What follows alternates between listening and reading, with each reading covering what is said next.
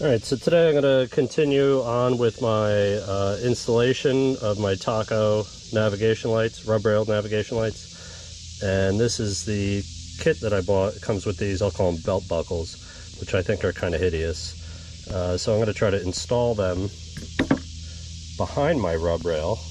They even have the contour of the rub rail stainless steel profile. Uh, so I'm basically going to attempt to drill a hole and this is uh, approximately three quarters of an inch, more like 11 sixteenths. In fact, uh, doesn't even fit. The manufacturer didn't even do a real, if you could see the light coming through. They didn't even really do that good of a job of uh, making the hole to fit the plastic bezel.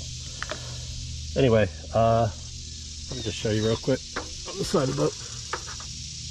This is, uh, this profile, I actually beat this uh, belt buckle here uh, to fit my profile out of the box. This kit does not fit the one inch stainless steel rub rails. Absolutely does not. You would need to uh, take it to your bench and beat it with a rubber mallet and try to take some of the crown out.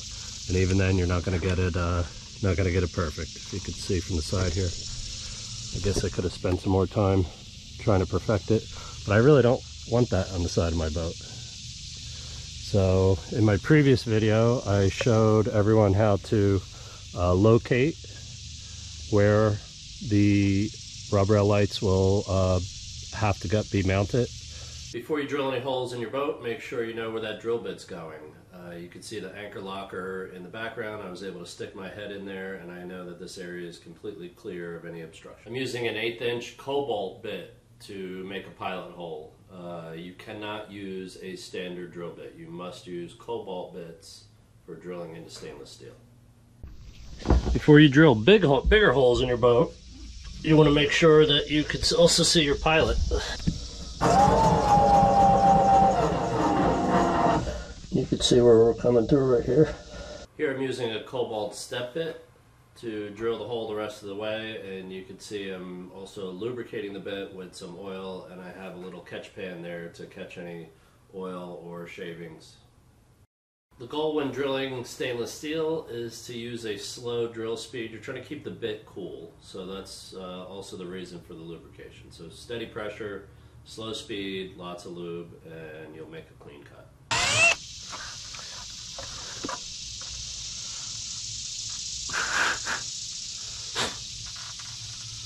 Here I'm test fitting the bezel from the light to make sure it fits uh, well in the hole. Okay, we're just going to clean up the edge of this hole with a half round file.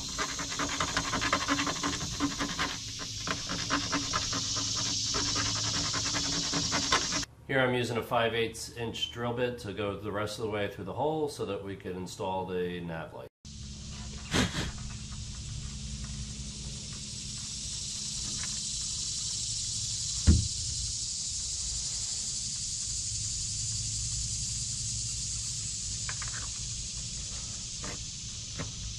Okay, 5 8 hole is the ticket. Here I'm removing all the screws in the rubber rail from the seam all the way up to the bow boat, and I'm going to skip over the one nearest the hole. Uh, once you drill that hole, you really weaken that metal, so you're going to need a way to support that rail when it's loose. Uh, having a helper would be ideal.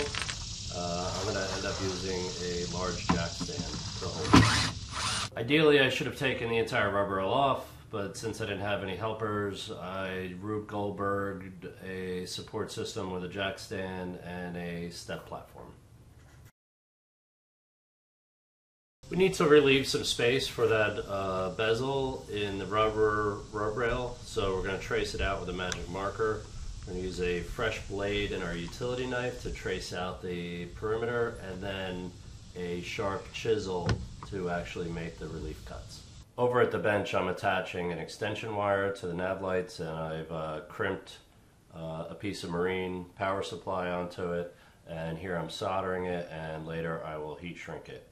Uh, you want to do this uh, off the boat where you're nice and comfortable and then bring it over the boat to install it. Here I'm fishing the wires through the plastic portion of the rub rail uh, before I do any caulking.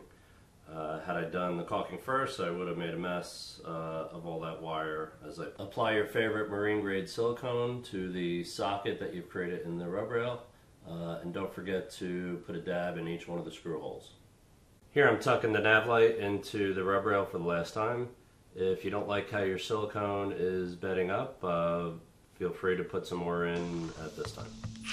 Last thing to do here is to put the screws back in. Just be careful right around the light area. That rub rail is very fragile where the big hole is drilled. Uh, you want to make sure you ease that back into its original position and snug up your screws. Clean up any residual caulk with a rag and some lacquer thinner or some acetone and get ready to admire your work. Give you a close up. How's that for clean looking?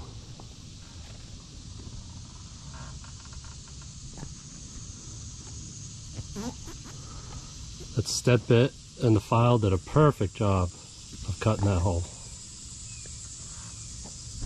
Very, very happy. Okay, we're here in the anchor locker and you can see where the light fixture comes through the rub rail into the locker. Uh, we're going to run that wire across the front. You can see the OEM navigation light there and the wire set into that. We're going to use uh, that feed obviously. Then when you come around here you can see the starboard light sticking through. I'm using Deutsch connectors to attach the nav lights to the wiring harness and here you can see I'm using the special end crimper uh, to put the ends on. Push these through till they click. There's click.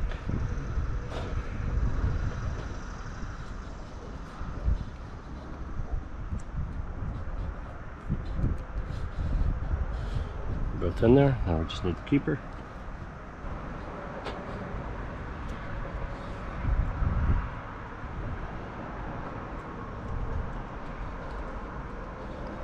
Get it started and push that until it clicks ports on the Deutsch plugs are numbered, so you could line up your wires, but you could also do it manually by just plugging the two ends together and lining the wires up.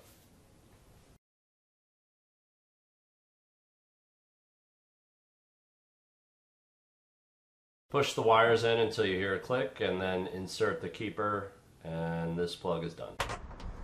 I'm going to connect the pigtails now and do a test before I wire tie everything into place.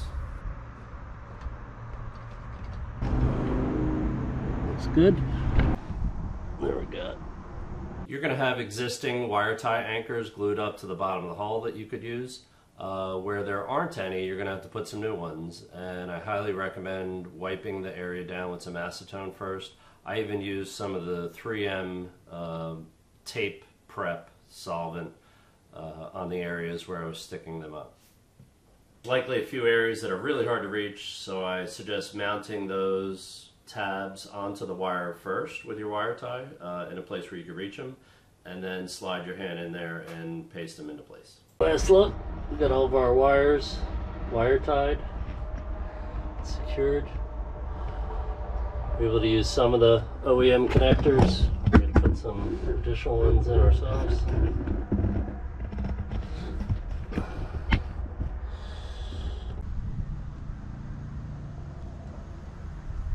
If you enjoyed this video, please hit the like button, consider subscribing to my channel. Thank you and tight lines.